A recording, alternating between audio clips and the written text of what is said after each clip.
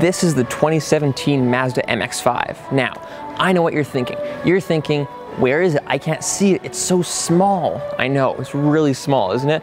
This is actually smaller than the original Miata. Look how tiny it is. It's like a Barbie car. But the thing that makes this way different than the past three generations is that this is actually really cool.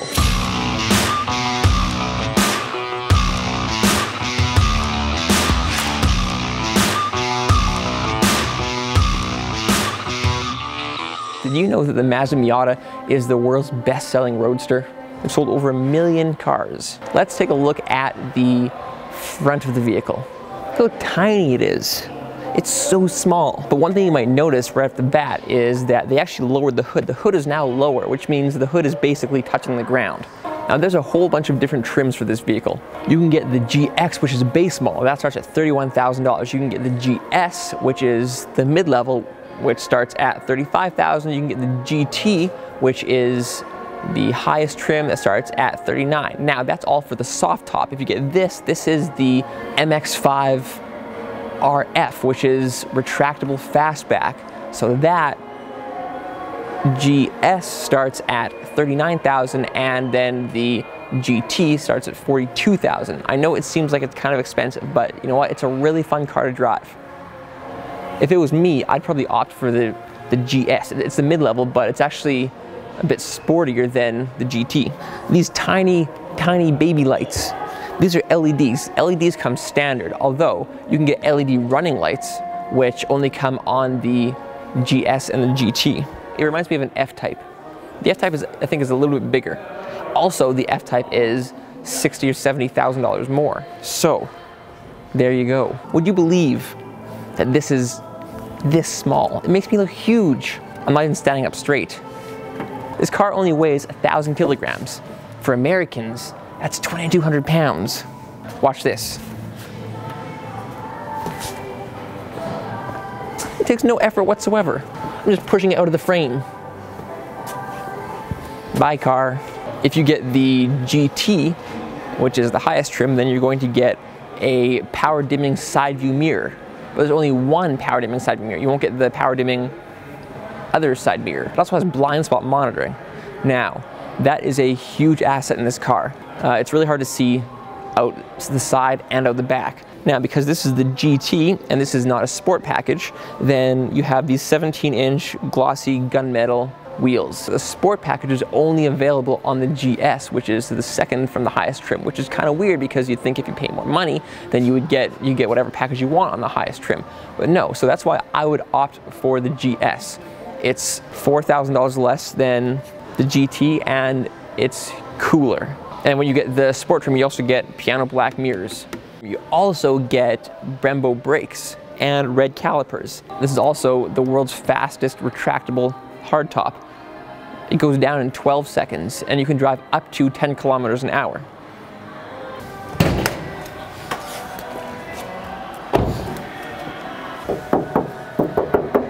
Hmm. I've got a Jaguar and it's a You need a belt-driven supercharger. I did, I did the calculation on that. Pounds per horsepower.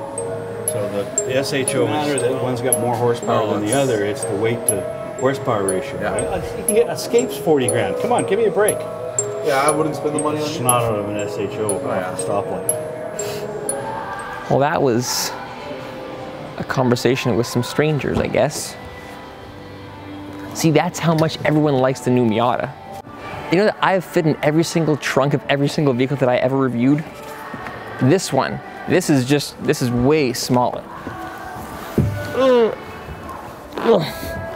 It's not really meant to fit people in. So, Look at that. There we go. Uh-oh, I have the key in my pocket. I don't know if I can get to it. How scary is this? Ugh.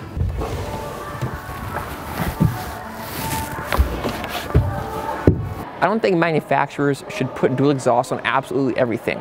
Look, this is our minivan.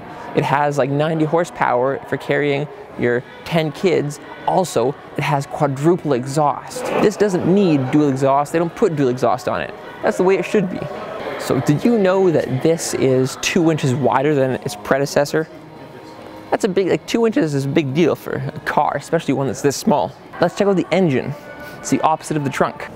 So this is the Skyactiv G2 liter. It has 155 horsepower and 147 foot-pounds of torque. So this actually has 12 less horsepower than last generation, but it has more torque. But it's also faster than last generation, which is also really cool. One thing I really, really like about Mazda is that they're still really faithful to the manual transmission. In the CX-5, which is uh, like, you know, a mid-sized crossover, you can actually get that with a manual transmission. And you, you can't find manual transmissions in um, crossovers anywhere. So this is a sports car and it gets 6.7 liters per 100 kilometers. I don't know what that is in American talk, so we'll just put that somewhere in the video. This is no easy car to get into. Hey, look, my pants match. Did you know that if you get the sport package, which is on the trim below this, um, then you get Recaro racing seats. They're black leather with Alcantara accents and red contrast stitching. I think that would look amazing in this car. I would totally buy that instead of this. If you have seen interior, the interior of the old uh, Miata, it looks very, very cheap. This does not look cheap at all. This is a very nice interior. And if you get the GS or the GT, then you get body colored panels. And if you don't, then you get black. And you have leather wrapped steering wheel, leather wrapped shifter, and leather wrapped e-brake. And so then this is the Mazda Connect screen. It's seven inches and this is the single best infotainment system interface that I've ever seen in any vehicle. And it doesn't use Android Auto. They developed their own thing, which is Mazda Connect. I wouldn't say it's better than Android Auto, but it's, it's, it's really intuitive and it is extremely easy to use. You can go through all your songs instantly. Look at this.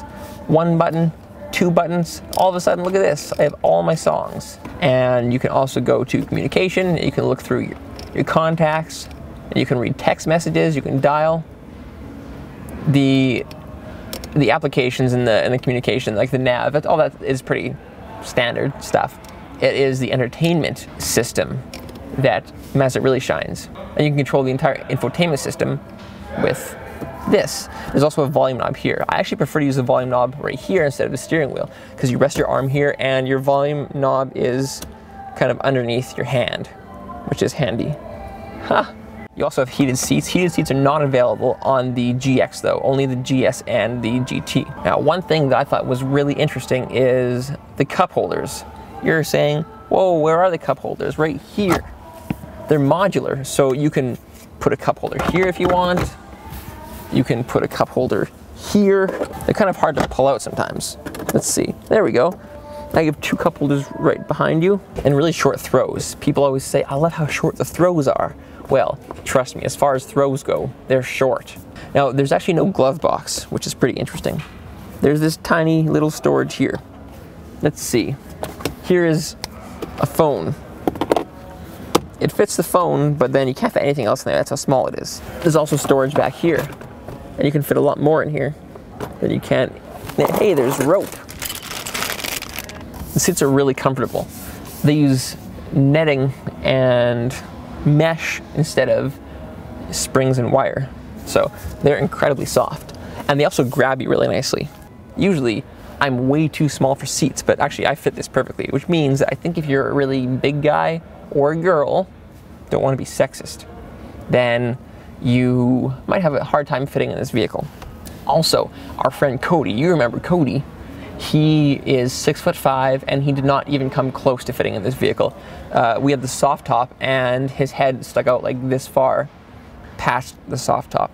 Apparently though, they actually did tilt the seat back and they um, tilted the steering wheel forward and it's supposed to be a bit better for taller people. They also raised the roof two centimeters. So if you get the GX, then you don't get this seven inch screen. You get this really small monochromatic screen. It kind of fits in this little in this little area right here. And it is, it looks like something from 1995.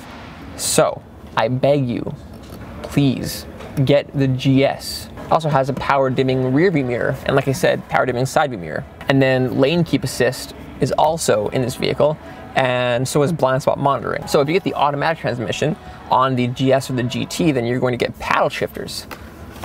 But no paddle shifters for us because we have the big boy shifter. And the button for the for the top is right here.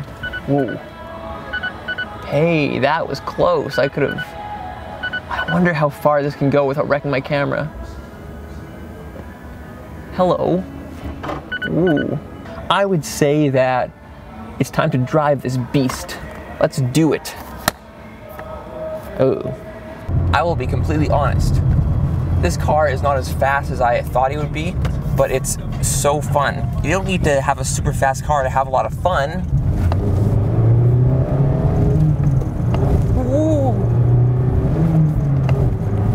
Man. Now, here's something that's really interesting about this vehicle. You're gonna have a lot of people saying something like, hey, that's not a real sports car, it only has 155 horsepower.